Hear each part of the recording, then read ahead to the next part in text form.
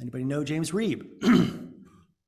Reeb was one of hundreds of Unitarian Universalist ministers who answered the call of the Reverend Dr. Martin Luther King Jr. to join him at Selma for the Montgomery marches.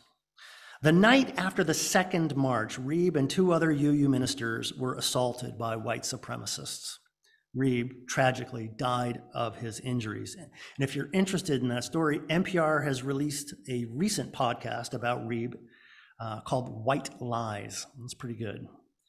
For the cause of civil rights in the 20th century, the death of a white minister became national news.